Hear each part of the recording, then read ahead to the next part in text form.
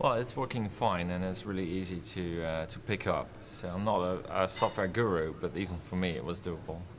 I was actually looking for a small switch that could be part of our design, uh, so I went directly to the library that, that is available.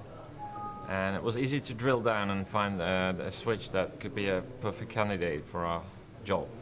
So that's what I did, and I picked it up and transported it into the uh, into the design platform.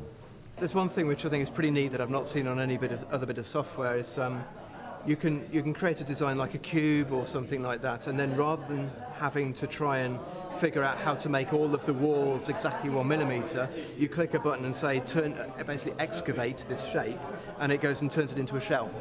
And I haven't seen that anywhere else, and you just think that's great. That makes my life a whole lot easier, and that's that's very cool.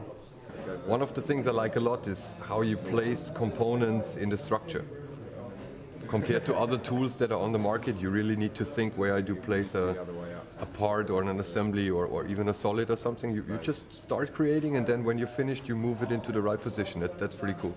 One of the features I really like. Well, one of my favorite features that's proved really valuable today, especially, is the cross-section features you know, because we're creating assemblies that have multiple parts. So the ability to view parts uh, where you can actually see what's going on inside of them makes it really easy to see how stuff intersects, you know, collides, and then make the necessary changes.